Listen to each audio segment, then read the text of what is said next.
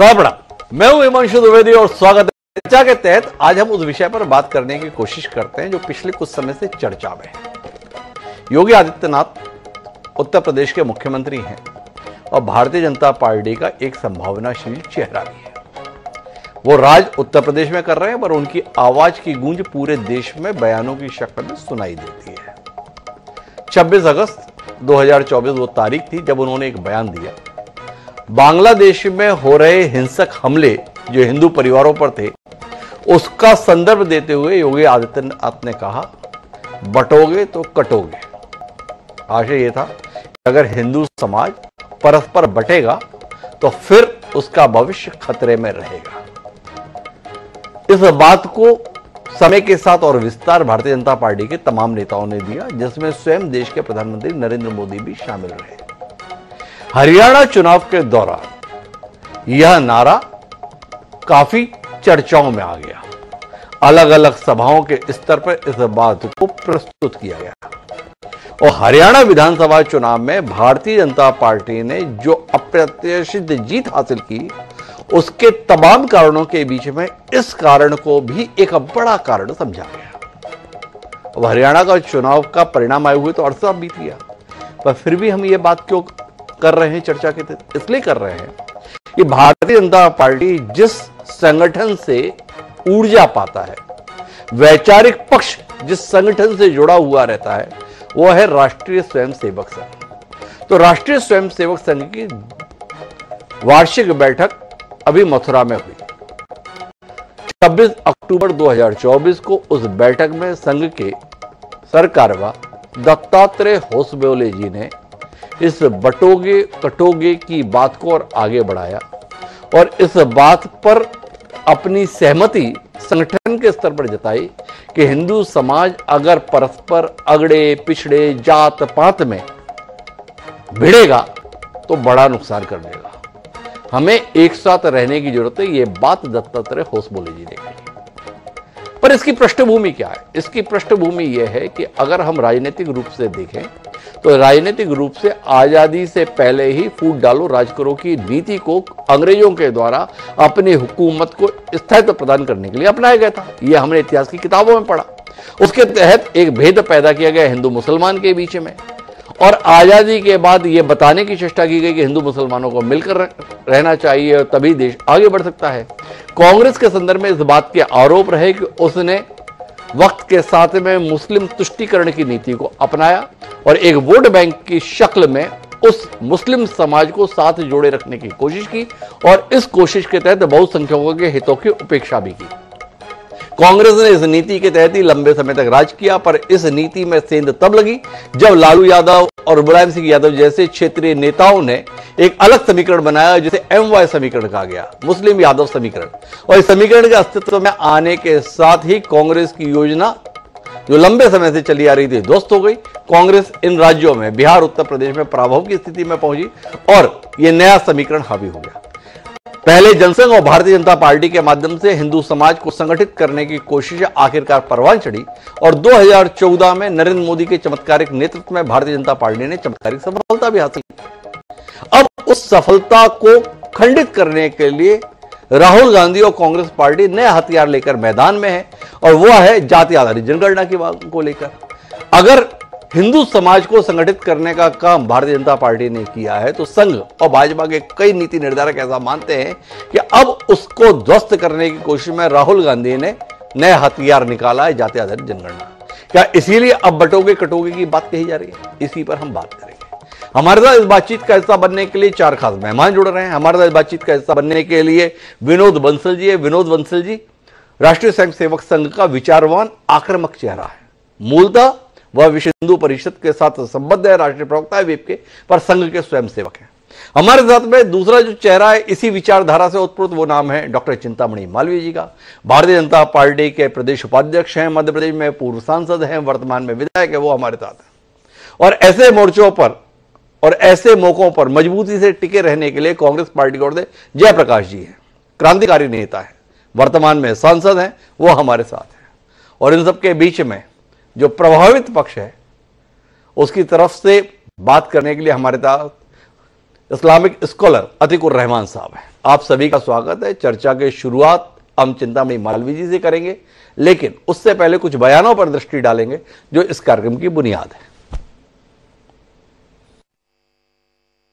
मुद्दा क्या है? समाज की एकता एक हम जाति, भाषा, प्रांत के अगर सिर्फ़ एक से हम करेंगे तो वो हम करेंगे। तो ये थे दत्तात्रेय होश बोले जी, जिन्होंने कहा कि अगर हम जाति पात के चक्कर में पड़ेंगे तो नुकसान कर लेंगे।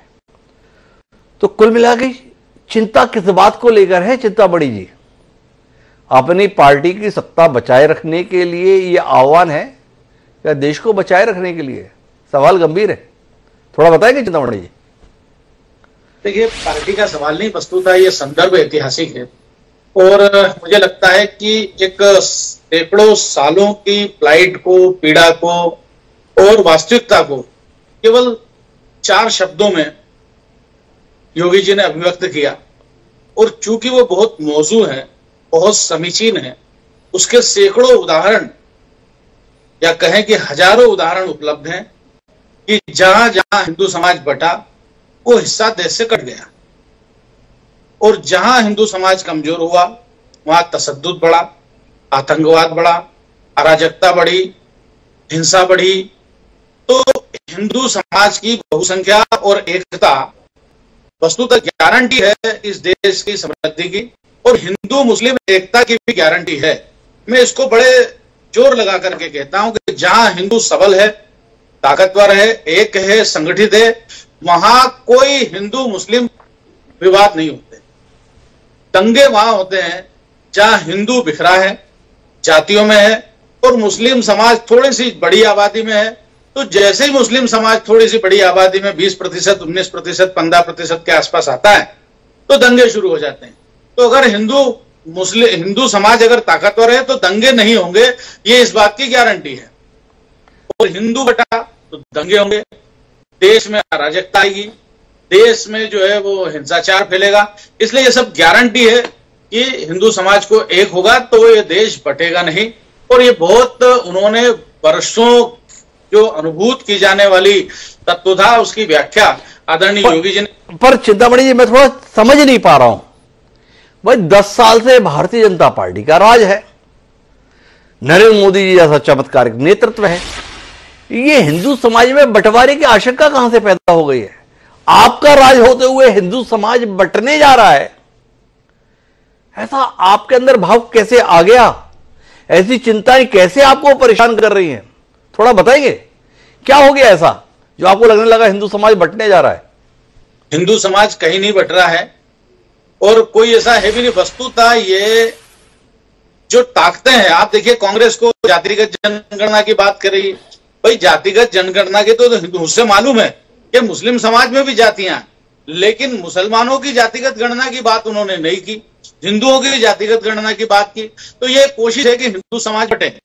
ये पीडीए में पिछड़ा दलित ये ये सब क्या है? हिंदुओं को बांटने की कोशिश है। ये हमेशा कांग्रेस का ये शगल रहा है कि वो कहती है कि हिंदू मुस्लिम एकता।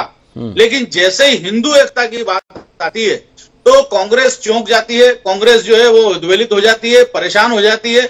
उसे हिंदू एकता नहीं चाहिए, हिंदू समाज बटावा चाहिए और मुस्लिम समाज संगठित चाहिए। ये कांग्रेस की हमेशा कोशिश रही है। इस कारण ये कहने की आवश्यकता हुई कि ये जो आज बांटने की, आप देखिए कि ये हिंदू समाज को बांटना ही तो हुआ कि आप केवल यादव हैं, इसलिए समाजवादी पार्टी के साथ रहिए। और मुसलमान है तो उसे तो रहना ही, स्वाभाविक है, वो उसकी सारी मांगे मानी जाती है, अच्छी बुरी मांगे मानी जाती है। और बटोगे कटोगे इसलिए भी है कि उत्तर प्रदेश में जब समाजवादी पार्टी का राज्य था तो हम देखते हैं कि यादव और मुस्लिम दोनों समाजवादी पार्टी के वोटर्स हैं। लेकिन यदि झगड़ा होता था यादव और मुस्लिम में तो फिर यादव की नहीं सुनी जाती थी मुसलमान की सुनी जाती थी। तो जैसे यादव भी अगर हिंदू समाज से कटा तो उसके बाद उसकी नहीं सुनी गई। तो आप तो चिंतामणि जी की कई चिंताएँ हैं और चिंताओं के संदर्भ में।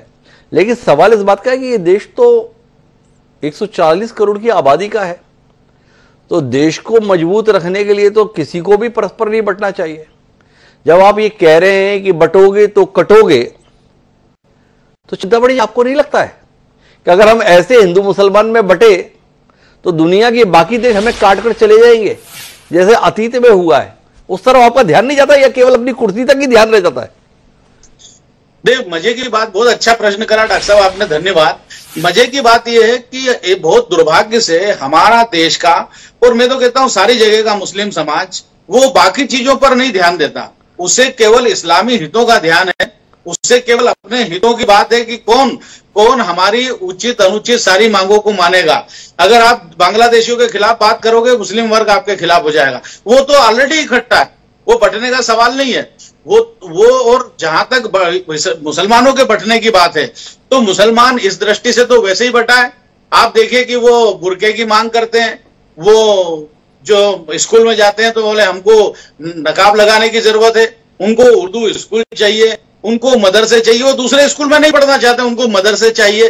तो सारा अलगाव का सामान यदि एक जगह मिलता है तो वो मुसलमानों की दुकान पे मिलता है। तो दुकान में मिलता है डॉक्टर जिंदामणि मालवी की अपनी दृष्टि अपनी सोच है। मैं विनोद बंसल जी के पास आऊँगा लेकिन उससे पहले जयप्रकाश जी से कुछ बात करना चाहता हूँ।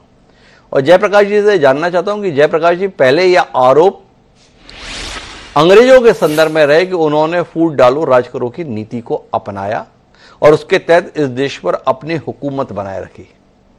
अब आरोप कांग्रेस पार्टी और इसके शीर्ष नेता राहुल गांधी के संदर्भ में है कि वह हिंदू समाज में भेद पैदा करने की कोशिश कर रहे हैं। जाति आधारित जनगणना के माध्यम से विभाजन पैदा करना चाह रहे हैं। दलित, पिछड़े आदिवासियों के संदर्भ में उन्हें अलग वजूद के तौर पर प्रस्तुत करना चाहते हैं और कोशिश कर रहे हैं कि भारतीय जनता पार्टी के पीछे जिस प्रकार से ये सब लोग एकजुट हो गए हैं, इसमें सेंधमारी की जाए। क्या आप इससे इतफाक रखते हैं आरोपों से? देखिए पहली बात तो यह है कि जो भारतीय जनता पार्टी पूरे आज दस साल ग्यारहवा साल शुरू हो गया सत्ता में। है जी। भारत के प्रधानमंत्री भी हिंदू हैं बीजेपी से हैं। तो ऐसी नौबत कभी आई है क्या? मैं इन साथियों से पूछना चाहता हूँ।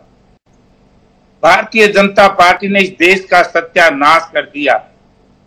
और कांग्रेस पार्टी ने क्या इनसे सर्टिफिकेट लेने की ज़रूरत है कि हम हिंदू हैं?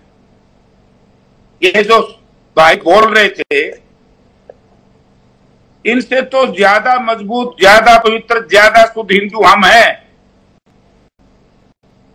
इन लोगों ने तो धर्म को राजनीति के लिए हमेशा इस्तेमाल किया है। और हम लोगों ने धर्म को राजनीति के लिए इस्तेमाल नहीं करते। हम धर्म को, धर्म में एक आस्था है, अपना जीवन बसर करने के लिए धर्म को वो करते हैं। और भारतवर्ष की तो खूबसूरती सी में कि भारत एक संविधान में लिखा है धर्म निरपेक्ष राज्य। जब धर्म निरपेक्ष राज्य, इनकी धर्म निरपेक्षता कहा है? अब इन्होंने बात करी कि जनगणना की, जातीय जनगणना, क्यों नहीं हो? जिसमें जितना जिसका बहुमत, उतना ही उसको हक मिले या कौन सी बुरी बात है? अगर जात में जात, मज़हब में मज़हब बांटने का काम किया है तो भारतीय जनता पार्टी और आरएसएस के लोगों ने किया है। मैं इसकी घोर निंदा करता हूँ। जो उत्तर प्रदेश के मुख्यमंत्री जी ने और फिर उसके ऊपर मोहर लगाने का काम किया दत्तात्रेय जी ने और भारतीय जनता पार्टी के नेताओं ने, आरएसएस के नेताओं ने। और राहुल जी की बात करते हैं। राहुल जी के परिवार ने इस देश की एकता और अखंडता के लिए अपने परिवार के दो दो नेताओं को शहादत दी है। इस देश की एकता के लिए अपने प्राण दिए हैं। भारतीय जनता पार्टी का कोई एक ऐसा नेता है? आरएसएस का कोई एक ऐसा नेता है, जिसने जंग आज़ादी से लेकर के आज तक इस देश की एकता और अखंडता के लिए कभी एक अपने कहीं लड़ाई लड़ी हो? जब देश जल रहा था, भारतीय जनता पार्टी के लोग उस वक्त भी जंग आज़ादी की लड़ाई से पहले बंटवारे के समय उस वक्त भी केवल एक बात करते थे, धर्म की, जात की। आज बात करते हैं बांग्लादेश की बात लेकर के, कभी कोरोना काल में पाकिस्तान की बात को लेकर के, कभी कोई कभी कोई। आज मैं पूछना चाहता हूँ कि भारत के प्रधानमंत्री नवाज़ शरीफ की माता के पाँव छूने क्यों गए थे? अगर इतनी नफरत थी उन्होंने हिंदू, मुसलमानों से अच्छा एक बात बताइए जयप्रकाश जी, आपने कितनी सुंदर बात कही? कि राहुल गांधी के संदर्भ में बात करते हैं? जिन्होंने अपने परिवार के दो दो लोगों को इस देश की एकता के लिए खो दिया। पर ये जो गांधी नेहरू परिवार है ना यह अतीत में जाति आधारित जनगणना की खिलाफत किया है। पंडित नेहरू इसके कभी पक्षधर नहीं रहे, इंदिरा गांधी कभी पक्षधर नहीं रही, और राजीव गांधी ने भी कभी समर्थन किया हो ऐसा इतिहास की किताबों में हमें पढ़ने को नहीं मिला। तो राहुल गांधी अपने पूर्वजों की रीति और नीति का परित्याग करके जाति आधारित जनगणना की इतनी हिमायत कर रहे हैं जो 55 साल कांग्रेस के शासनकाल के दौरान कभी एजेंडे में नहीं रही। तो आपकी नाराज़गी किससे ज़्यादा है? मैं भाजपा से या राहुल गांधी से? नहीं भाजपा से। जी। मैं ये कहना चाहता हूँ कि भारतीय जनता पार्टी ने जात के नाम से सबसे ज़्यादा इन्होंने तोड़ा। जी। लेकिन इनको तकलीफ़ जब होती है ठीक है कि पहले कांग्रेस पार्टी जाति की बात नहीं करती थी वो तो जातीय जनगणना है। आज झगड़ा है आरक्षण का पूरे देश में। आग लगवा दी है बीजेपी ने जब से भारतीय जनता पार्टी आई है। जातियों जातियों को तोड़ दिया। अगड़े को पिछड़े से लड़ा दिया पिछड़े को अगड़े से लड़ा दिया हिंदू को मुसलमान से लड़ा दिया मुसलमान ने सिख से लड़ा दिया सिख ने बौद्ध से लड़ा दिया। तो कर क्या रहे हैं? ये लोग भी बोलते हैं। जिन्होंने बिल्कुल मैं कहता हूँ कि आज आवश्यकता है। राहुल जी की एक बात बड़ी अच्छी है। भाई ये रिजर्वेशन का मामला ही खत्म हो जाएगा। जिसका जितना जिस जाति का जनसंख्या है उसके हिसाब से उसको वेटेज दो। चाहे एस टी का हो चाहे बीसी का अच्छा हो। बताओ जयप्रकाश जी। वैसे आप नहीं मानते हो कि योगी आदित्यनाथ ने बात तो बड़े ज्ञान की कही थी। बटोगे तो कटोगे। और हरियाणा अपने आप में उदाहरण हो गया। अगर कांग्रेस पार्टी आपस में ना बटी होती तो अभी जयप्रकाश जी विधायक के पिता ना होते मंत्री के पिता होते। क्या आप मानते हो कि नहीं मानते हो कि ये जो बटने से कटने की बात है ये हर जगह लागू होती है? योगी आदित्यनाथ ने बात तो पते की कही थी। क्या कहते हैं आप? आदित्यनाथ ने नहीं हमारा तो खेल है धन का। जी। धन बल और मशीन बल। जी। की वजह से इन्होंने सत्ता ली है इनके पास पॉपुलरिटी नहीं है। हरियाणा की किसान आज रो रहा है। जी। आज दस दिन सरकार बनने हुई है लाठी चार्ज किसानों के माथे फोड़ दिए हैं। जी। आज डीएपी खाद नहीं मिलता किसान का धान नहीं बिकता मजदूर को मजदूरी नहीं मिलती। बेरोजगार नौजवान साथियों के साथ धोखा किया कर्मचारियों के साथ धोखा किया। क्या सत्ता तो बाई हुक एंड क्रुक कोई भी ले सकता है लेकिन उस सत्ता का दुरुपयोग जो हरियाणा में नहीं जयप्रकाश ऐसा नहीं है वो कैप्टन अजय यादव हैं आपकी पार्टी के बड़े नेता हैं भाई पिछड़ा वर्ग प्रकोष्ठ के राष्ट्रीय अध्यक्ष हैं। वो मामन खान के बयान को बड़ा जिम्मेदार मानते हैं। अहिरवाल बेल्ट में हार के लिए। वो मामन खान ने बोला था, जिन लोगों ने मेवात के बच्चों के साथ अन्याय किया है, कांग्रेस की सरकार बनते ही उन्हें मेवात छोड़ना पड़ेगा। अजय यादव कह रहे मामन खान खुद तो लाख वोट से जीत गया, पर हम सबका निपटारा कर गया। क्या कहते हैं? नहीं पता उन्होंने क्या कहा, हम सब चुनाव में बिज़ी थे। वो उनका व्यक्तिगत कोई बात हो सकती है तो उन्हें कही होगी। लेकिन मैं ये बात कह सकता हूँ कि भारतीय जनता पार्टी ने याद होगा मेवात के मामले को लेकर के किस तरीके से इन्होंने झूठे, उस तरफ़ भी बीजेपी के लोग, संघ के लोग, इस तरफ़ भी बीजेपी संघ के लोग। मुँह में लड़वाने का काम नहीं किया था। हरियाणा में जातीय दंगे नहीं फैलवाए थे। हरियाणा में धार्मिक दंगे नहीं फैलवाए थे। ये इनको महारत है इस बात की। और राहुल जी इनको क्या तकलीफ़ है? जिसकी जितनी जनसंख्या है उसको उतना ही उसका हक मिल जाना चाहिए। क्या बुरी बात? उतना ही हक मिल जाना चाहिए ये जयप्रकाश जी की दलील है लेकिन मेरे साथ में विनोद बंसल जी जुड़ गए हैं। राजनीतिक बयानों के अपने मायने हैं पर जो देश का ही नहीं दुनिया का सबसे बड़ा गैर राजनीतिक संगठन माना जाता है वो अगर ये बात कह रहा है तो उसको विस्तार से समझने की ज़रूरत है। पर बंसल जी हम बात समझ नहीं पा रहे संघ एक तरफ़ तो यह बताता है, जो भी इस देश में पैदा हुआ है, वो हिंदू है। और फिर जाके जब संख्या बताई जाती है तो बताया जाता है कि 109 करोड़ हिंदू है 20 करोड़ मुसलमान है। ये बटोगे तो कटोगे के सिद्धांत को थोड़ा सा हमें समझाइए। ये 109 करोड़ के संदर्भ में या 140 करोड़ के संदर्भ में? थोड़ा पता तो चले। चिंतामणि जी की बात तो सीधे स्पष्ट तौर पर समझ में आती है। 109 करोड़ एक तरफ़ 20 करोड़ एक तरफ़। बंसल जी बताएँ। उनकी सोच कहा जाती है हिमांशु जी पहले तो सबसे पहले आपके सुधी दर्शकों को दीपावली और उससे जुड़े हुए सारे महापर्वों की हार्दिक शुभकामनाएँ जी, बहुत-बहुत धन्यवाद। आपको भी बधाई। जनता से संपन्न रहे आपके सभी जो पैनलिस्ट हैं वो भी धर्म मार्ग पर चलते हुए राष्ट्रीय कार्य के लिए अपना सर्वाधिक जीवन लगाएँ ऐसी मेरी शुभकामनाएँ और दूसरा ये देखिए मैं बात सुन रहा था चिंतामणि जी की भी चिंता थी और साथ में सांसद महोदय जो जयप्रकाश जी है वो भी बहुत बड़ी बड़ी बातें कर रहे थे कि कांग्रेस ने बलिदान दिया और कांग्रेस ने ये किया हमारे लोग ऐसे और हमारे लोग ऐसे, राहुल गांधी ऐसे और वो ऐसे। मैं कहना चाहता हूँ, इन्होंने किसानों की बात करी थी। देखिए, मैं पूछना चाहता हूँ कि क्या कर्नाटक के किसान किसान नहीं है क्या? उनकी तो एक ही गाँव की पंद्रह सौ एकड़ ज़मीन को हड़प लेने का कोशिश आपके मंत्री कर रहे हैं ना जी। वो तो रात और रात वो कागजों में दर्ज करा दी भाई। क्या वो किसान नहीं है क्या? क्या राहुल गांधी उनके उनके लिए नहीं लड़ेंगे क्या? क्या उनकी ज़मीन उपजाऊ नहीं है क्या? उनको जिहादी भूमि की क्यों कन्वर्ट कर रहा है भाई? उपजाऊ भूमि को शमशान बनाने का जो षड्यंत्र है वो कौन कर रहा है भाई?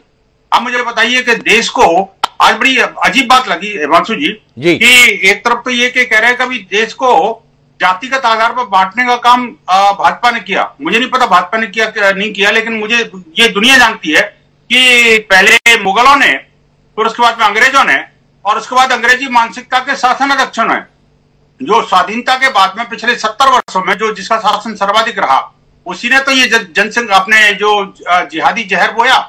मैं कहना चाहता हूँ, स्पष्ट तौर पर कि आखिरकार जनजातीय आधार पर, ये जो अपने जातीय आधार पर हिंदू समाज को बांटने, काटने, छाटने का काम किसने किया? भाई, कौन नहीं जानता?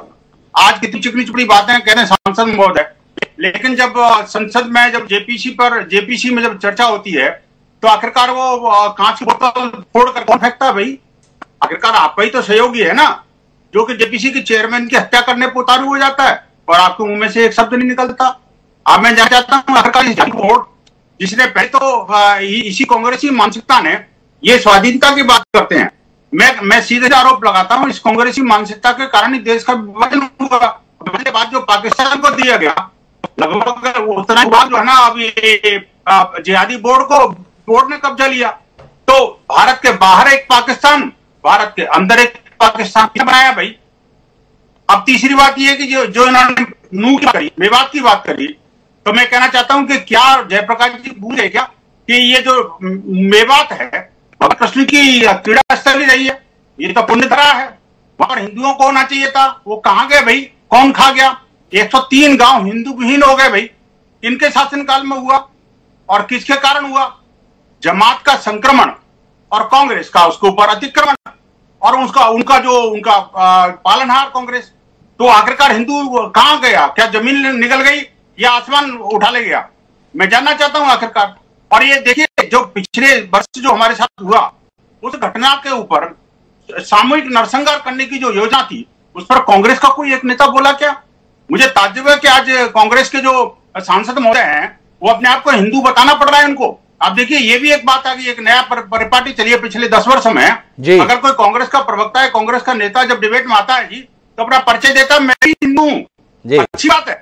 मैं अप्रिशिएट करता हूँ कम, कम से कम कांग्रेस के लोगों का अंदर का हिंदुत्व तो बोलने के लिए तो जागा मैं उम्मीद करता हूँ कि भाई कम से कम इस दिवाली के बाद में इस दिवाली के बाद में जयप्रकाश जी मैं आपको बधाई देता हूँ।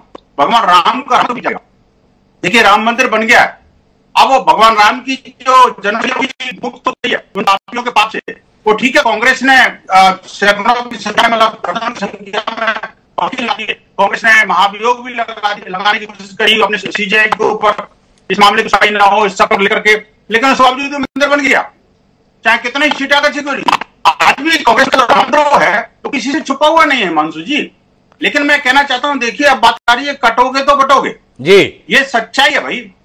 ये जो काटने बांटने छांटने का काम जो मुगलों ने इनको अपने आ, वो कहते हैं कि सल्तनत में दिया या वो उनके परिपाटी में दिया तो मुगलों ने अंग्रेज़ों से और अंग्रेज़ों ने कांग्रेस से सॉरी अंग्रेज़ों से कांग्रेस ने मुगलों से अंग्रेज़ों के पास और अंग्रेज़ों से कांग्रेस के पास ये तो विरासत में मिला है ना जी? अच्छा एक बात बताइए विनोद जी आपने इतनी सारी बात कही पर जितना नाराज़ आप कांग्रेस से उतना नाराज़ आप भारतीय जनता पार्टी से हैं कि नहीं है? ये भारतीय जनता पार्टी भी तो अपने हर फैसले के साथ जाति बदलाने से कब पीछे रहती है? मोदी जी, मैं पिछड़े वर्ग से आता हूँ, मेरी जाति को गाली दी गई। ये बयान आपने सुना? कई मुख्यमंत्री बनाते हैं। देखिए, हमने पिछड़े समाज के व्यक्ति को जो है मुख्यमंत्री बनाया है। वो छत्तीसगढ़ में विष्णुदेव साहब मुख्यमंत्री। देखो, हमने आदिवासी को मुख्यमंत्री बनाया है। तो क्या आप नहीं मानते हैं कि संघ जिस जाति पाति के खिलाफ केवल एक हिंदू की पहचान के साथ देश को स्वरूप देना चाहता है। भारतीय जनता पार्टी भी उसमें बड़ी रुकावट है। वो भी अपने राजनीतिक औचित्य और राजनीतिक लाभ को वैसे ही खोजने की कोशिश करती है, जैसे ये भारतीय राष्ट्रीय कांग्रेस के संदर्भ में आपके आरोप रहते हैं। ये इससे इतर है कुछ कहानी? नहीं, हिमांशु जी, देखिए किसी एक राजनेता को राजनीतिक दल के सपोर्ट के लिए करने के लिए नहीं आया मैं लेकिन ये कांग्रेस के किसी का भाई वो मोदी जी अगर अपनी जाति बात तो जाति तो मेरी ब्यूटी है ना जी। मैं भी किसी जाति का हूँ ना जी। लेकिन जाति का हमारे यहाँ वेदों वेदों में व्यवस्था जाति व्यवस्था जी मैं आपको दोबारा जोड़ता हूँ आपकी आवाज़ काफ़ी कटकर आ रही है तो मैं दोबारा से कोशिश करता हूँ। तब तक जयप्रकाश जी कोई हस्तक्षेप कर जा रहे हैं? एक बार उनका हस्तक्षेप सुन लेता हूँ। जी जयप्रकाश जी। बात पूछना चाहता हूँ। इन्होंने मुझे कहा कि सर्टिफिकेट लेना है हिंदू का। इस श्रीमान जी गोयल साहब से ये तो पूछ लो आप तो हिंदू बनते हो केवल सत्तर कुर्सी हथियाने के लिए। हम हैं जन्मजात हिंदू हैं हिंदू हैं और हिंदू ने किसी की बीजेपी के लोगों के सर्टिफिकेट की ज़रूरत नहीं है। दूसरी इन्होंने बात की मेवात की। मेवात को तोड़ने का, मेवात को जलाने का, हरियाणा को जलाने का दो बार षड्यंत्र आरएसएस और बीजेपी के लोगों ने किया है। अगर आरएसएस और बीजेपी के लोगों ने ना किया होता, आज आरएसएस और बीजेपी के लोग अभी भी हरियाणा प्रदेश की जेल के शिक्षों के पीछे बंद पड़े हैं। इन्होंने इस देश को तोड़ने का षडयंत्र रचा है। और बार बार बात करते हैं हिंदुत्व की हिंदुत्व की, तुम ठेकेदार हो क्या? हिंदू गए? अरे आप लोग तो पश्चिमी सभ्यता के गुलाम रहे हो। आपके नेताओं के लोगों ने तो अगर मैं उस बात पे चला गया, सत्तर फ़ीसदी शादी मुसलमान लड़कियों से या मुसलमान लड़कों से की हुई है, उन लोगों को आप पार्टी क्यों रखे, जो आप उनकी वो करते हैं। आपने केवल सत्ता हासिल करने के लिए जब भी कोई चुनाव आता है, हिंदू, मुसलमान, जात तगड़ा पिछड़ा तो इस मेरा सवाल था कि क्या जाति पाति के आधार पर राजनीति करने की कोशिश भारतीय जनता पार्टी नहीं करती? तो क्या संघ की नाराज़गी भाजपा से उतनी है? कि भाई देश तभी बचेगा जब बटेगा नहीं। या केवल कांग्रेस के संदर्भ में ये चिंता है? नहीं, बात कांग्रेस और बीजेपी की नहीं है जी। बात यह है कि जो भी हिंदू समाज को बांटने की कोशिश कर रहे हैं, जैसे अभी जयप्रकाश जी ने कहा कि भाई जितनी जिसकी जनसंख्या, वैसी उनकी भागीदारी। तो इसका मतलब क्या है कि कश्मीर घाटी तो गई हमारे हाथ से। इनका मतलब ये है कि नॉर्थ ईस्ट भी चला जाएगा हमारे पास। एक राज्य तो पूरा का पूरा चला जाएगा। नौ राज्यों में हिंदू वैसे ही अल्पसंख्यक हैं तो वो तो कभी सत्ता में आ ही नहीं सकते। उनको भागीदारी दे दो जी। और जहाँ जहाँ हिंदू के साथ मुसलमान थोड़ा बहुत है मतलब जहाँ बीस परसेंट, तीस परसेंट है, वहाँ उनका रिजर्वेशन पहले से है। माइनॉरिटी के नाम पर हो जाएगा। तो हिंदू तो गया। तो मैं मैं ये कहना चाहता हूँ, कांग्रेस से आखिरकार अभी ये जो विभाजनकारी मानसिकता है, उसको त्याग रहे ज़्यादा अच्छा रहेगा। रही बात इसकी, देखिए, अगर कोई मेरे से पूछता है कि मेरी जाति क्या है तो जाति तो मुझे बतानी पड़ेगी ना जी। लेकिन मैं जातिगत आधार पर भेद करता हूँ क्या? ये देखने वाली बात है। क्या मैं कोई पार्शलिटी करता हूँ क्या? ये देखने वाली बात है। क्या मैं वो जातिगत आधार पर लोगों को आ, अच्छा बुरा भला कहने की हकदारी करता हूँ क्या? नहीं। मैं कहता हूँ हिंदू समाज का संकल्प है। विश्व हिंदू परिषद की स्थापना उन्नीस सौ चौसठ में छोटी बात कहना चाहता हूँ। 1969 में उड़पी में एक धर्म संसद हुई थी। और उसमें उसमें बाकायदा पूज्य संत जो है जगत गुरु शंकराचार्य उस मंच पर थे। और उनका हिंदुआ सोदरा सर्वे न हिंदू तो अभ्य मम मम दीक्षा हिंदू रक्षा मम मंत्र समानता। और आप देखिए 1964 में 64 के बाद 1966 में, छियासठ में प्रयागराज की धरती पर डोम राजा को हिंदू सम्मेलन में आमंत्रित करने के लिए स्वयं मान्य अशोक जी जगतगुरु शंकराचार्य उनके घर पर गए थे। क्या ये सामाजिक समरसता का बड़ा उदाहरण नहीं है क्या? हम तो नहीं मानते। आप देखिए विश्व हिंदू परिषद ने, अपने अर्चक पुरोहित आयाम ने कम से कम पचास हज़ार से ज़्यादा ऐसे अर्चक पुरोहित तैयार किए हैं, जो कि एसी जो तथाकथित दलित जाति से हैं एसटी और हैं। थोड़ा भ्रम हो रहा है। मेरा सवाल विश्व हिंदू परिषद और राष्ट्रीय स्वयं सेवक संघ के लिए तो नहीं था। संघ तो जात पात विहीन समाज की स्थापना के लिए संकल्पित है, हर क्षण इस बात को दोहराता है। मेरा सवाल था, भारतीय जनता पार्टी की सियासत को लेकर। जैसे कांग्रेस के संदर्भ में आपका आक्षेप रहता है कि वोटों की राजनीति के लिए बांटने का काम करते हैं, क्या भारतीय जनता पार्टी को लेकर भी आपकी उतनी नाराज़गी है? क्योंकि भाजपा भी तो हमेशा ये एहसास कराने की कोशिश करती है। देखो, हमने इस जाति के व्यक्ति को बनाया, हमने इस जाति के व्यक्ति को बनाया, इस वर्ग के व्यक्ति को बनाया, हमने इतने दलित, इतने पिछड़े, इतने आदिवासियों को टिकट दी। और फिर जाकर उसमें भी किस समाज को किसने दी? हमने इतने साहू, इतने कुर्मी, इतने क्या इस बात पर नाराज़गी जताते हैं? संघ इस बात पर नाराज़ है ये देश हित सबसे बड़ा है, सत्ता हित इतना बड़ा नहीं है। नहीं, हिमांशु जी, देखिए, दो बातें बड़ी भिन्न है। मैं कहना चाहता हूँ, देखिए समर्थ समाज का निर्माण हो। समर्थ समाज का जब निर्माण होगा, तभी होगा ना, जब सभी लोगों को सहभागिता होगी। आज हम विश्व हिंदू परिषद के कार्यकर्ता हैं हम अपनी कार्यकारिणी में इस बात का ध्यान रहते हैं कि कार्यकारिणी में महिलाएँ भी हों, हर समाज के वर्ग के लोग हों, हर जाति, मत संप्रदाय का प्रतिनिधित्व हो उसमें। तो वही बात अगर मान लो बीजेपी करती है तो ये तो अच्छी बात है ना, कोई बुराई बात नहीं है। इसमें काटने वाटने का तो काम नहीं है ना जी। कहीं ऐसा तो नहीं है कि अभी मैं सिर्फ़ फलाने जाति के लिए काम करूँगा, दूसरी जाति के लिए नहीं करूँगा। अगर एक जाति का व्यक्ति अगर आपने नहीं रखा तो मैं आपको नौकरी से निकाल दूँगा। आप देखिए देखिए कि थाने के थाने और वो एक विशेष जाति से भर दिए गए थे और दूसरी जातियों के प्रति घृणा फैलाना। मैं कहता हूँ किसी को प्रमोट करिए, उसमें कोई बुराई नहीं है। लेकिन किसी दूसरे को डिमोट करिए, उसको नीचा दिखाइए, ये ठीक नहीं है। ये समाज का हिस्सा नहीं हो सकता कभी आप एक एक जो अपना मतपंथ संप्रदाय है, जाति है, उसका तो सम्मान करें और दूसरे का निरादर करें। ये तो ठीक नहीं है ना ये ठीक नहीं है, ये विनोद जी का कहना है। मेरे साथ में काफ़ी देर से अतिकुर रहमान साहब जुड़े हुए हैं। ये बटोगे और कटोगे से कितना डर गए हैं अतिकुर रहमान साहब? इस पर आपकी टिप्पणी चाहिए। क्या कहते हैं? और ऐसे हालात क्यों बन गए? कि कटोगे तक की नौबत आ गई। धन्यवाद डॉक्टर साहब। बटोगे यूनिटी फॉर कॉल में ले रहा हूँ पॉजिटिवली ले रहा हूँ। जी। लेकिन जो उससे जुड़ा हुआ शब्द है कटोगे तो सवाल ये उठता है कि भाई आपको डर किससे है कटने का?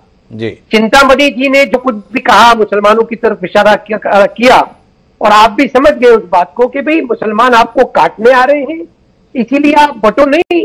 और नहीं तो ये मुसलमान आपको काट देंगे। अगर इस संदर्भ में हम लेते हैं तो चलिए थोड़ी देर के लिए मान लीजिए कि आज के संविधान के मुल्क के अंदर पचहत्तर साल हमारी डेमोक्रेसी को हो गए हैं, ग्यारहवा साल बीजेपी की हुकूमत है, और इसमें बीजेपी के चीफ मिनिस्टर हमारे हिंदू भाइयों से कह रहे हो कि अगर बटोगे तो मुसलमान आपको काट देंगे। तो पुलिस का क्या काम रह गया? जुडिशरी का क्या काम रह गया? हमारी सेना का हमारे जितने भी सिक्योरिटी फोर्सेस हैं उनका क्या काम रह गया?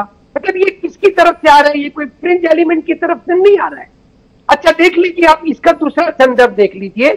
मैंने कहा कि मैं इसको पॉजिटिवली ले रहा हूँ और मैं तो बिल्कुल भी डरा हुआ नहीं हूँ क्योंकि हमेशा से हमने अपने बुज़ुर्गों से ये यूनिटी की बात सुनी है। आपने भी वो पुराना किस्सा सुना होगा कि जब बाप स्वर्ग सिधारने वाला था तो बच्चों को कहा कि लकड़ियाँ उठा के ले आओ और सारी लकड़ियों को एक कर दिया। तो भाई पटना तो गलत बात है किसी को भी पटना नहीं चाहिए। अब पॉजिटिवली अगर ये चीफ मिनिस्टर साहब कह देते यो, यो, योगी जी के भाई अगर बटोगे तो हम इलिटरेसी से जूझ नहीं पाएँगे लड़ नहीं पाएँगे। इंडस्ट्रियलाइजेशन से हम आ, ये रह जाएँगे वंचित रह जाएँगे। तो अगर डेवलपमेंट ओरिएंटेड ये कॉल होता डॉक्टर साहब तो ये वेलकम होता, लेकिन ये कटोगे कहकर चीफ मिनिस्टर ने अपने आप को एक्सपोज किया है। और बहुत इंपॉर्टेंट एलिमेंट यह है कि चिंतामणि जी बीजेपी के स्पोक्स पर्सन उसको उसको एंडोर्स कर रहे हैं। आरएसएस उसको एंडोर्स कर रहा है। और अब मेरी मेरी बहुत बहुत विनंती है आपसे कि विनोद बंसल जी से आप पूछ लीजिए कि जिहादी कौन कौन है इनकी नज़र में? मैं अतीकुर रहमान जिहादी, सारा मुसलमान जिहादी, या एक तबका जिहादी, या सिर्फ़ कांग्रेस जिनको अपील करता है वो जिहा, जिहादी है कौन? थोड़ी सी इसकी व्याख्या भी हो जाए तो बहुत, और सिर्फ़ जिहादी ही आपको काटने आ रहे हैं। और एक इंपॉर्टेंट लास्ट पॉइंट ये है डॉक्टर साहब, मेरी तरफ़ से, कि मैं बिल्कुल भी डरा हुआ नहीं हूँ स्टेटमेंट से, क्योंकि मैं ये अच्छी तरह से जानता हूँ कि पूरा हिंदू समाज एक तरफ़ है और आरएसएस वीएचपी बजरंग दल जो हिंदुत्व संघ एलिमेंट है वो एक तरफ़ है। सारे हिंदुस्तान के हिंदू भाई मेरी तरफ़ से और बीजेपी वीएचपी आरएसएस एक तरफ़ है। अच्छा एक बात बताइए क्या आप बीजेपी को ही इसके लिए जिम्मेदार मानते हैं या बाकी राजनीतिक दल जिस तरीके से अपने उद्देश्य पूर्ति के लिए मुसलमानों को हथियार बनाते हैं उसको भी इसके लिए जिम्मेदार मानते हैं? वो अखिलेश यादव उत्तर प्रदेश में आयोजन कर रहे हैं। पीडीए सम्मेलन बोला जाता है इसे। पीडीए सम्मेलन का आशय है पिछड़ा, दलित और अल्पसंख्यक। ऐसा बोध होता है इससे कि देखो पिछड़ा जो है ना, वो केवल हिंदू समाज में दलित समुदाय जो है ना, वो केवल हिंदू समाज में और अल्पसंख्यक में ऐसा कुछ भी नहीं है और इन सब की गोलबंदी के माध्यम से राजनीतिक हित साधा जाए। और इसी की चिंता में योगी आदित्यनाथ कह रहे हैं ये अखिलेश यादव के फॉर्मूले पे मत चले जाओ। वो राहुल गांधी जिसकी जितनी भागीदारी, उसकी उतनी हिस्सेदारी, इसके नारे दे रहे उस पर मत चले जाओ। तो क्या कहते हैं अतिकुर रहमान साहब? ये विरोधी दलों का एजेंडा इस देश में मुसलमानों के लिए असुरक्षा का वातावरण निर्मित कर दे रहा है। या भाजपा को आप कसूरवार मानते हैं? यही है जो हमें चैन से नहीं रहने दे रहे तो डॉक्टर साहब ये उस व्यक्ति की तरफ़ से आ रहा है योगी आदित्यनाथ जी चीफ मिनिस्टर है कॉन्स्टिट्यूशनल पोजीशन पे है और आपको आश्वासन दे चुके हैं हज़ारों बार के देश संविधान से चलेगा और क्या कहते हैं उसे मुसलमानों की किताब का नाम लेके कहते हैं कि आपके शरिया। क्या कहते हैं भूल रहा हूँ शरिया से नहीं चलेगा। शरिया से नहीं चलेगा। तो अगर इतना ही यकीन है आपको कॉन्स्टिट्यूशन के ऊपर तो आप ये पॉलिटिकल ये देखिए, डॉक्टर साहब, ये जो हम आपने जो क्वेश्चन किया है ना, बहुत इंपॉर्टेंट है। लेकिन ये पॉलिटिकल कॉन्टेक्स्ट में मुसलमान कब तक पिटेगा मैं थोड़ी इनकार कर रहा हूँ। मैंने और कोई मुसलमान इस बात से इनकार नहीं करता है कि कांग्रेस ने मुसलमानों को वोट बैंक की तरह इस्तेमाल किया। तो बीजेपी पसंदा मुसलमानों का इशू लाकर किस तरह से इस्तेमाल करना चाह रही है भाई? ये वोट बैंक पॉलिटिक्स में मुस्लिम समाज क्या विनोद बंसल जी के तहत जिहादी हो गया। ये बहुत बड़ा प्रश्न बनता है ना। ये सवाल बनता है तो चिंतामणि जी के पास वापस लौटता हूँ। इधर आह्वान कर रहे हो बटोगे तो कटोगे और खुद बांटने की कोशिश करते रहते हो। मुसलमानों में भी बांटने की कोशिश करते रहते हो। पसमंदा मुसलमान ये वाला मुसलमान। तो कुल मिला के कांग्रेस आपके लिए इतना रोल मॉडल क्यों है चिंतामणि जी? थोड़ा ये बताइए। देखिए हमारा जो मूल सिद्धांत है वो तो मानव एकता का है। अच्छा। और हम तो हिंदू भी इसलिए क्योंकि ये ये लोग जो है अपने आप को बताते हैं। हम तो विश्व मानव है। हम हिंदू एक ऐसा समाज है जो सबकी धर्म की जय, विश्व का कल्याण, और हम ऐसी ऐसी अच्छी बातों को ही करते हैं। जो, लेकिन ये, इनका आप सिद्धांत देखोगे कि पूरी दुनिया काफिर है। ये नरक में जाएगी, ये जलाए जाएँगे इनको मुसलमान बनाना है बाय हुक और बाय क्रूक इनको मुसलमान बनाना है, नहीं बने तो परेशान करना है, ऐसा करना है, वैसा करना है, थूक जिहाद चलाना है, लैंड जिहाद चलाना है, लव जिहाद चलाना है, दंगे करने हैं, आबादी खाली कराना है तो वो सारे जितने भी तसद है, जितने भी ऐसे काम है जिससे समाज में परेशानी खड़ी होती है, वो सारे के सारे केवल मुसलमान की तरफ़ है। तो ये तो सोचना पड़ेगा। दूसरी जहाँ तक बटोगे की बात है, आप देखिए कि अमानुल्ला खान, अमान, अमानतुल्ला खान, वो सत्तर हज़ार वोटों जीतता है। और मनीष सिंह जिसने बताते हैं कि शिक्षा व्यवस्था अच्छी कर दी, वो मुश्किल पाँच हज़ार से जीतते हैं। अरे भाई, ये ये, आप बताइए कि यूसुफ पठान, वो गुजरात का रहने वाला आदमी, वहाँ मुस्लिम बहुल सीट से जाके लड़ रहा है। तो कुल करके बात यह है कि मुस्लिम समाज जो है, वो राजनीतिक रूप से इतना अवेयर है और उसका जिहादी स्वरूप में उपयोग कर रहा है अपने वोट की ताकत का। यद्यपि यह बात भी सही है और ये तस्दीक करेंगे अतिकुर रहमान के, लोकतंत्र जो है, वो इस्लामी पद्धति नहीं है। लोकतंत्र जैसे ही अगर इस्लाम बढ़ेगा, लोकतंत्र समाप्त हो जाएगा। जहाँ जहाँ इस्लामी देश है और जहाँ ज़्यादा मुसलमानों की आबादी, वहाँ लोकतंत्र खत्म हो गया। आप देखिए, बांग्लादेश में चीफ जस्टिस को भागना पड़ रहा है। राष्ट्रपति को भागना पड़ रहा है सारी संस्थाएँ ध्वस्त हो गई। और इराक देख लीजिए ईरान देख लीजिए ईरान तो चलिए अभी थोड़ा बहुत ज्यूरिस्टिक्स बचा है उनमें। थोड़ा सा पर्सियनपन बचा है लेकिन बाकी जितने भी वो देश है वहाँ लोकतंत्र खत्म हो गया।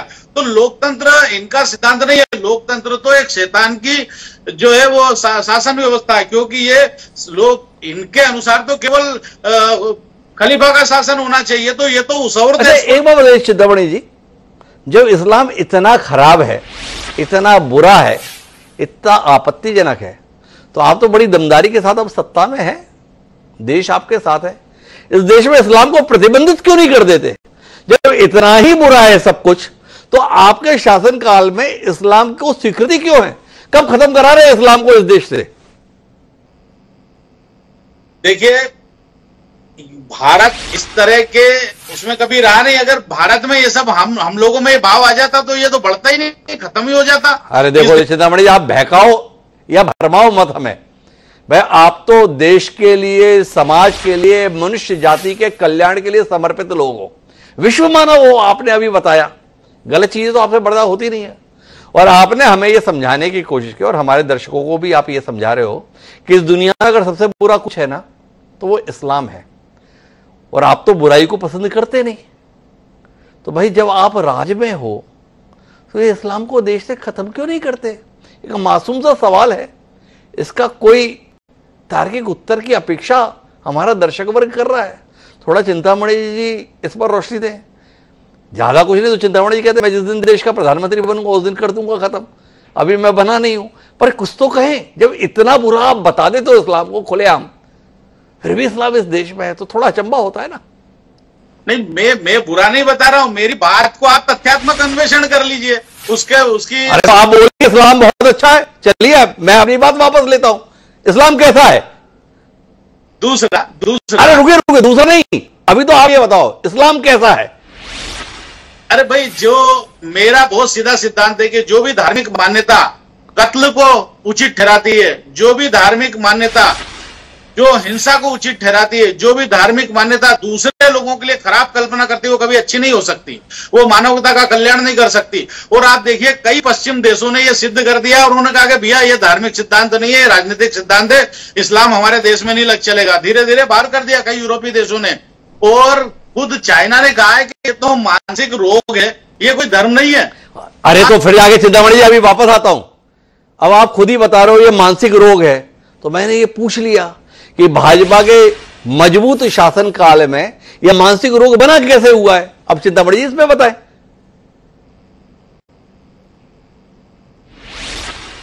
देखिए समूह ये ये किसी शासन व्यवस्था का काम है वो भी है। भारत के नागरिक है। ये ठीक है कि मानसिक दोष है उनको ये उनको एक ऐसा लगा हुआ है कि हम कत्ल करेंगे तो जन्नत में चले जाएँगे हम लव जिहाद करेंगे तो जन्नत में चले जाएँगे। और हम देखो अब आप तर्क नहीं दे रहे हो। आपसे जो पूछा जा रहा है ना उसके उत्तर से आप दाएँ बाएँ हो रहे हो। आप तो ऐसे ना थे। ऐसे कैसे हो गए आप? अरे भाई ये तो निज़ाम मुस्तफ़ा बोलने वाले हैं। ये तो इनका इन ये विनोद जी इसमें कुछ कहना चाहते हैं। विनोद जी से शायद हमें कोई रोशनी मिला। जी विनोद जी चिंतामणि जी दुविधा में पड़ गए। थोड़ा उनकी दुविधा को आप ही दूर करें। नहीं हिमांशु जी चिंतामणि से पहले चिंतामणि की दुविधा दूर दूर करने से पहले मैं अपने जो अपने साथी को रहमान जी बैठे हुए हैं। जी। वो उन्होंने एक बड़ा इंपॉर्टेंट क्वेश्चन किया था मेरे से किया था वो चले गए आप चिंतामणि जी के पास में। उनकी चिंताएँ बढ़ा दी आपने। लेकिन मैं कहना चाहता हूँ देखिए अतीक रहमान जी हमारा किसी वर्ग विशेष से हमारा किसी मज़हब विशेष से हमारा किसी मान्यता विशेष से कभी कोई द्वेष नहीं रहा। भारत लोकतंत्र है लोकतंत्र के मूल्यों से शुरू से चला आ रहा है। आज की बात नहीं है। अभी तो पिछले पचहत्तर वर्षों में एक संविधान बना जो संविधान के आधार पर चला लेकिन उससे पहले भी हमारा ब्रिटिश संविधान था जो लिखित में नहीं था तो भी चल रहा था देश। और अब देखिए जो आपने आक्षेप लगाए मैं उनको बड़ा क्लियर कट शब्दों में जवाब देता हूँ। अब मैं मैं जिहादी किसको बोलता हूँ? जी। जिहादी वो है जो जिहाद जो जो कि इस्लाम को स्थापित करने के लिए किसी भी हद तक जाने को तैयार है। इस्लामिक यूथ हो या कोई अन्य उनको पैसे का और मज़हब का और अन्य प्रकार के लोभ लालच देख करके जन्नत की सैर कराएँगे आपको और बेहतर हुरें दिलवाएँगे आपको आपको शराब की नदियों में डुबा देंगे आपको। और ये ये जो ना आपको जो अ, आपके परिवार का हम चिंता करेंगे। मज़हब को आप अगर ऐसे करोगे तो आपको यही कर देंगे। आखिरकार ये जो आतंकवादी सोच है ना जी, जो इस्लाम के नाम पर चल रही है, मैं मैं आपको देखिए, आप इस्लामिक स्कॉलर के नाते इस पैनल पर बैठे हैं। हिमांशु जी की डिबेट में जो विद्वान वक्ता- प्रवक्ता बैठे हुए हैं, मैं अप्रिशिएट करता हूँ, एक अच्छा पैनल आपने चुना है और एक सार्थक डिबेट भी हो रही है। लेकिन मैं कहना चाहता हूँ अतिकुर रहमान जी, आप जैसे विचारक को कम से कम आगे आना चाहिए ओपनली कहना चाहिए कि ये जो जो भी इस्लाम के नाम पर दुनिया भर में कतलेआम हो रहा है जो भी पैगंबर के नाम पर सरतंत्र जुदा गेंद चल रही है जो भी लोग हिंसा को इस्लाम का एक पर्याय मान मान, मान करके और उसको अपनाने तुले हुए हैं और जो भी गाजा पर बाजा बजा करके और फिलिस्तीन के लिए और जो सॉरी हमास के लिए हिजबुल्ला के लिए आँसू बहा रहे हैं क्या इस्लाम का अच्छा रहेगा मैं नहीं मानता कि आप जिहादी हैं लेकिन आपकी मानसिकता कभी कभी जिहादी हो जाती है तो इसलिए मुझे भी कभी कभी कहना पड़ता है आपको जिहादी। कारण क्या है कि देखिए इस्लाम कोई जिहाद अकेला आ, पूरा इस्लाम मैं कहूँ ज़िम्मेदारी के साथ कह रहा हूँ इस्लाम के मानने वाले सभी जिहादियों ये नहीं हो सकता। लेकिन हाँ मान्यताओं के अनुसार जो है जिहाद के कारण जो है वो कुछ भी करने को तैयार है। तो वो जिहादी है भाई क्यों नहीं है? और मैं कहता हूँ देखिए जब बात बंटवारे की हो रही थी माननीय सांसद महोदय ने कहा था जयप्रकाश जी ने कि जिसकी जितनी जनसंख्या वैसी उसकी भागीदारी। तो भैया उस हिसाब से तो अतीक रहमान जी आज भारत में नहीं रहने चाहिए। उनको तो भागीदारी दे दी थी हमने पाकिस्तान दे दिया था। उनको बांग्लादेश दे दिया था। तो भारत में क्या कर रहे हैं भाई? भारत में है तो इसका मतलब ये है कि जहाँ पर रहेंगे, वहाँ पर तो उनकी चलेगी। जहाँ नहीं है, वहाँ पर उनकी नहीं चलेगी। ऐसा नहीं होता। लोकतंत्र ये कहता है कि सबको समान अधिकार होना चाहिए। लेकिन अब जब बात समान अधिकार की आती है तो महिलाओं को अधिकार को इस्लाम के नाम पर छीनना क्यों चाहते हैं भाई? बच्चों के अधिकारों को इस्लाम के नाम पर छीनना क्यों चाहते हैं जी आप? मुझे बताइए कि जो कॉमन कॉमन सिविल कोड की जो बात हो रही है उसमें रिलीजन बीच में कहा जाता है जी। और एक चिंतामणि जी को मैं बताऊँगा थोड़ा सा विनम्र निवेदन है कि धर्म और मज़हब के बीच की दूरी को समझे हम सब लोग। आपके सुधी दर्शकों को भी ध्यान रहना चाहिए कि धर्म धर्म क्या है और रिलीजन और मज़हब क्या है। जी। तो धर्म वो है जो धारण करने योग्य है। उसका किसी पूजा पद्धति से कोई लेना देना नहीं है। आपने एक प्रश्न पूछा था हिमांशु जी कि आखिरकार जो आप कहते हो कि हिंदू कौन? तो मैं स्पष्ट तौर पर कहना चाहता हूँ, कहना चाहता हूँ कि हिंदू वो है जो इस भारत की संस्कृति, उसकी मान्यताओं, उसके महापुरुष, उसके पौराणिक परंपराएँ, उनके धर्म ग्रंथ, उनके जो विचार और उनके जो आदर्श हैं, उनको फॉलो करता हो। वो प्रत्येक व्यक्ति हिंदू है। वो चाहे चर्च में जाए या कोई मंदिर में जाए, कोई गुरुद्वारे में जाए या कहीं और जाए, उससे क्या फ़र्क पड़ना है? लेकिन प्रश्न तब उठता है जब कहता है कि नहीं नहीं, मैं तो हिंदू नहीं हूँ। मेरे को हिंदू नहीं मानो। अब मैं कहना चाहता हूँ, आप चाहे आज टीवी चैनल के डिबेट में आप हिंदू ना माने, लेकिन आप जब मक्का मदीना में जब हज के लिए जाते हो तो आपको हिंदी ही कहते हैं भाई, हिंदू ही कहते हैं। और आप देखिए, लोग, कुछ लोग ये भी कंपैरिजन करने लग जाते हैं, मानसू जी, कि भाई हम तो मक्का में तो आपकी मस्जिद बन रही मंदिर बन रहा है, और आप हमारे मस्जिदों को तोड़ रहे हैं। और कुछ कांग्रेस के गोगे जो है ना जी, आप भारत में गृह युद्ध छेड़ने की बात करते हैं। मैं उनको कहना चाहता हूँ, भैया, वो वो जो वहाँ मंदिर बन रहा है ना, वो आपके जैसे कट्टरपंथी मुसलमानों के वैसे नहीं बन रहा। और आपके जैसे मुसलमान को तो वहाँ पर कोई पैर रखने की ज़मीन नहीं है। जमीयत को बैन कर दिया ना उसने। और मैं कहना चाहता हूँ, आपके आपके जैसे लोगों को वहाँ दो दर्जे का नागरिक समझा जाता है। क्यों? क्योंकि आपने इस्लाम की जो छवि बनाई है ना जी, वो छवि वास्तविक इस्लाम से मैच नहीं करती। इस्लाम का जो ग्लोबल चेहरा जो है, वो ऐसे कट्टरपंथी नेताओं के कारण बना है।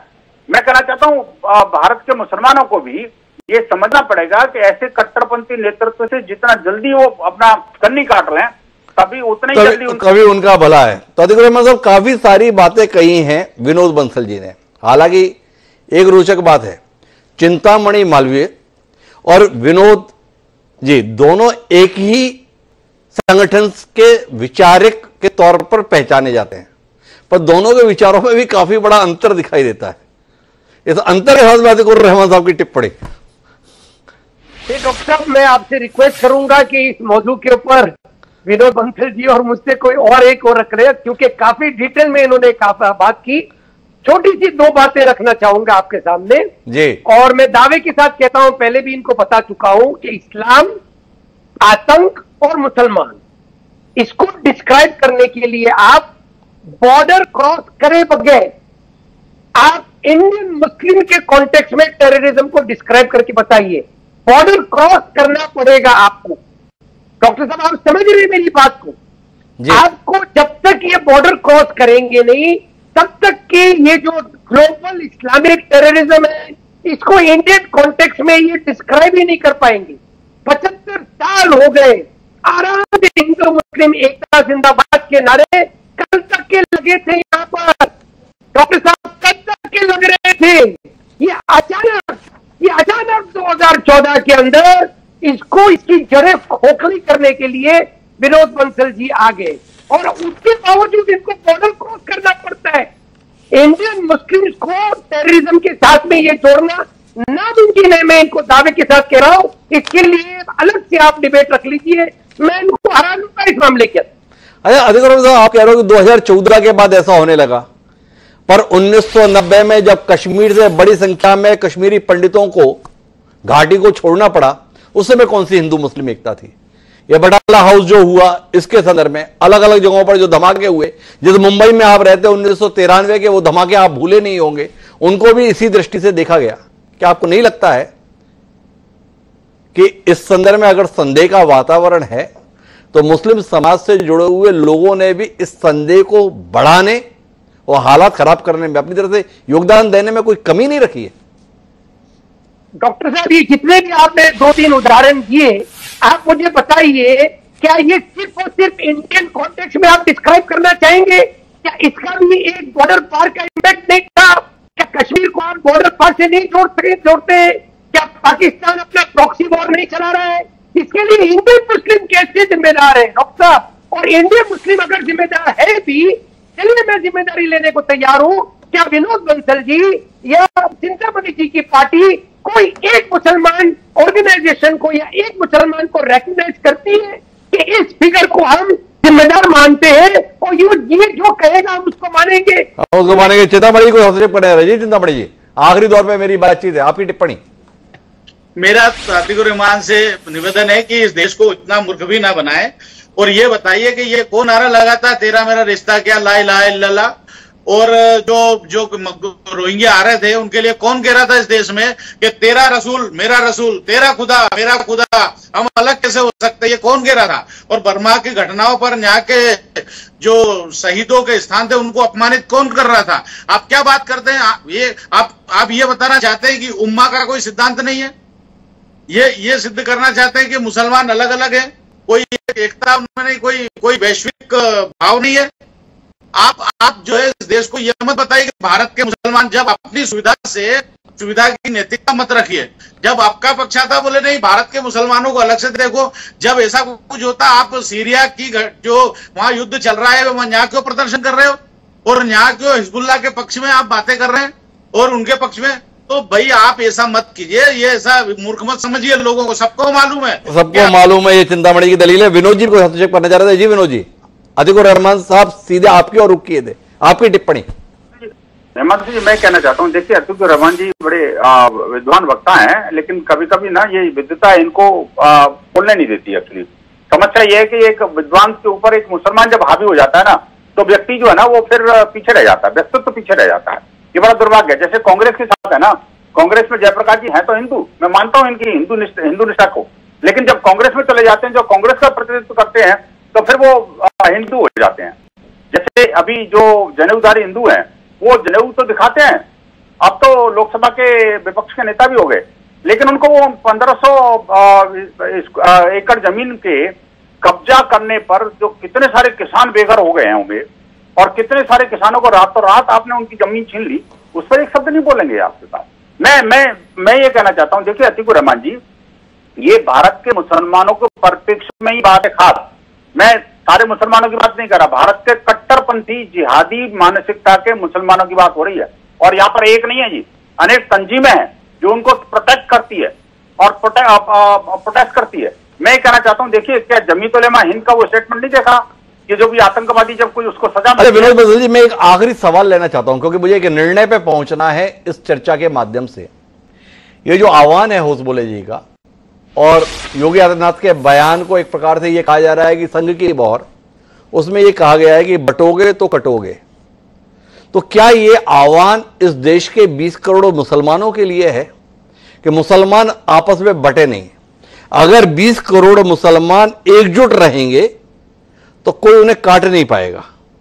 क्या आपको वो चिंता नहीं सताती कि आपका आह्वान कहीं उल्टा तो ना पड़ जाएगा?